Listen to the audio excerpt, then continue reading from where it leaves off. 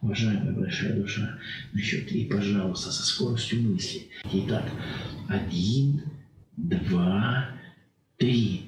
Перемещайте сознание вашей нынешней личности сквозь измерения, сквозь вибрации, где вы оказались.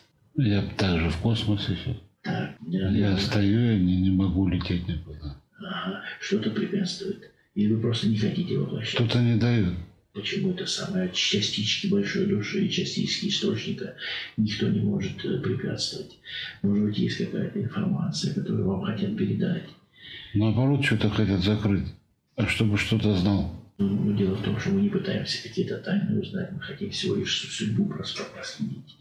И можно ли обратиться к тем уважаемым разумным энергиям, которые не хотят э, что-то показывать? Можно ли переговорить с этими разумными энергиями?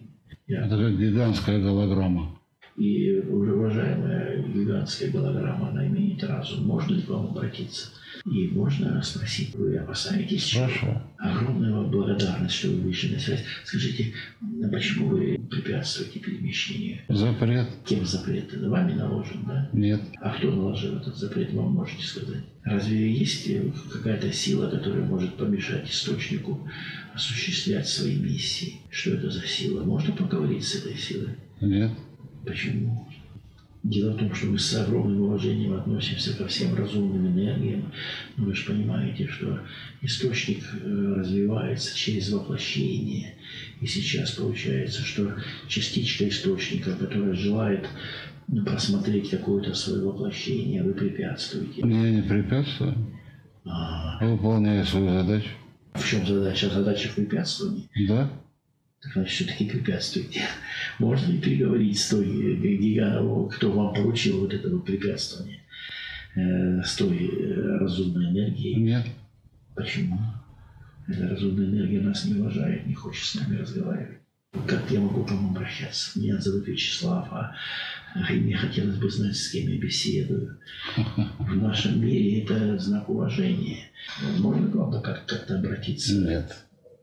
А как для чего вот вы сейчас решили препятствовать перемещению? Это в этом есть какой-то смысл вообще, какой-то какой-то рациональный смысл?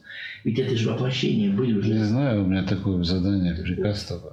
Я сейчас обращаюсь, э, ну, ну, я не знаю, как вас называть, тогда давай, давайте буду называть тот, кто препятствует, уважаемый тот, кто препятствует. Прошу вас немножко отступить. Я сейчас обращаюсь к большой душе нынешней личности, которая пришла с вопросами.